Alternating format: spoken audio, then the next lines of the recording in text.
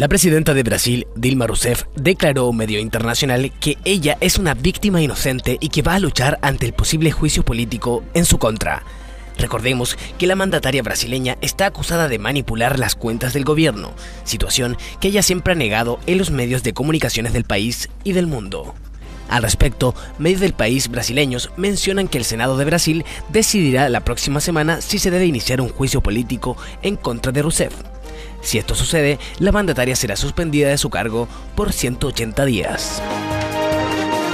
El ejército israelí anunció haber bombardeado en la madrugada de este jueves cuatro posiciones del movimiento islamista palestino Hamas en el norte de la Franja de Gaza, territorio palestino sumido en un recrudecimiento de la tensión desde este miércoles.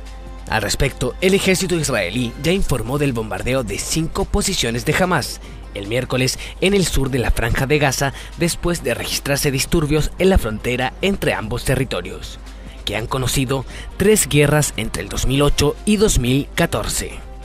Cabe mencionar que en los últimos días Hamas llevó a cabo repetidos disparos de mortero y cohetes contra las fuerzas israelíes que operan a lo largo de la barrera de seguridad israelí que rodea herméticamente el territorio palestino. El presidente de Venezuela, Nicolás Maduro, decretó la restricción de las competencias constitucionales del Parlamento para aprobar mociones de censura y remover a miembros de su gabinete, alegando que ello agravaría la crisis económica del país caribeño, según informó el Ejecutivo. La orden considera que la Asamblea Nacional, de mayoría opositora tras las elecciones de diciembre pasado, está en desacato frente al Tribunal Supremo y actúa con una mayoría burguesa circunstancial, opuesta al orden constitucional que ha propiciado un clima de confrontación.